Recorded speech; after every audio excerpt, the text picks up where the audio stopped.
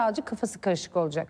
Burada da Türkiye belki krizi fırsata çevirebilirse bu da 26 Mart'la e, 2 Haziran arası. Ya bu tarihler çok önemli. Bu yayının fikri takibini ben de yapacağım kendimde.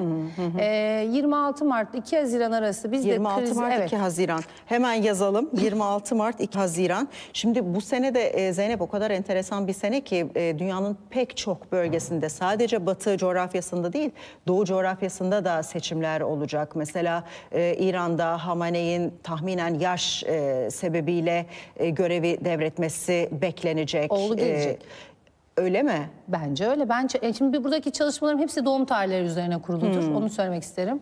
Örneğin Almanya'daki koalisyonun dağılması da yine haritalar üzerine kuruludur. Seçildiği tarih üzerine çalışılmıştır. Yani buradaki bütün söylemlerim haritalar, kuruluş tarihleri üzerine kuruludur ve dolayısıyla da dünyada bizim beklemediğimiz sürpriz birçok ülkede seçim olacak. Evet. Ve dolayısıyla da 1979 yılında rejim değiştirmiş İran çok büyük rejim değiştirecek.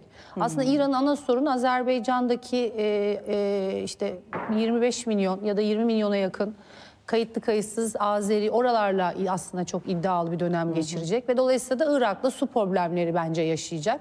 Dolayısıyla biz de e, Fırat Dicle tarafına daha çok odaklanacağız. Aslında dünya komşularımız kaynıyor ve biz de değişiyoruz. Şöyle değişeceğiz. Biz sınırlarımızı daha güvenli hale getireceğiz.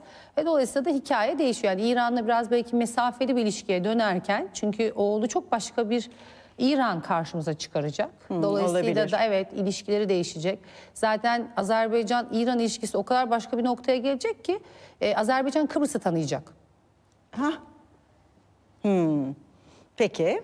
Ee, bizim Ermenistan'la ticaretimiz artacak ve dolayısıyla Türk Birliği, Turan Birliği'ni şimdi son yıllarda özellikle olgunlaştığını düşünecek olursak biz de tren yollarına çok daha yatırım yapacağız. Yeni karayolları e, rotası çizilecek. Ondan sonra son yapılan G20 zirvesi e, biliyorsun ki Hindistan'daydı. Ben işte geçen sene yani 2020'de Ganj Nehri'ne çok da dalmıştım. Ondan sonra e, istenilen orada kurulan paktlar devamlı olmayacak. Evet, dolayısıyla da bana göre aslında birer eğer bir savaş daha bir yerde çıkacaksa dünyada bu Akdeniz zaten şu an o sıcaklığı hissettiriyor Kaynıyor. maalesef ki.